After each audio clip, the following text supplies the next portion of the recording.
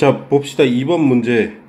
자 두 집합 A, B에 대해서 A라는 녀석은 10보다 크고 20보다 작은 자연수래요. 자 벤다이어그램 그리고 시작합시다. 요렇게 그린 상황에서 A 교집합 B가 누구다? 지금 13 15 17 19다.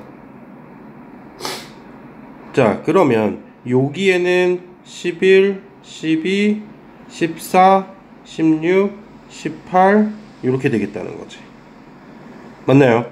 자 그 다음 이제 B, A 합집합 B라는 녀석을 했는데 여기는 20 이하의 자연수래요 20 이하의 자연수 그러면 이제 여기는 누가 들어가야 된다 1부터 어디까지? 우선 10까지 들어가야겠죠 그렇죠? 그 다음에는 그럼 10, 11, 12, 13, 14, 16 해서 어디까지? 20 이렇게 들어가겠다는 거지 그쵸? 그럼 집합 B의 원소의 개수는 총 몇 개라는 거다 여기가 열, 몇 개? 10개 여기 몇 개? 4개 여기 몇 개? 1개 해서 다 더하면 몇 개다? 15개가 되겠다 이거야 오케이 그래서 어려운 문제가 아니고 그냥 단순하게 벤 다이어그램만 그려가지고 어, 그냥 상식적으로만 접근하면 충분히 풀 수 있는 문제들이에요 집합 파트는 오케이 어려운 문제야 당연히 어렵겠지만 오케이 무슨 말인지 알겠죠?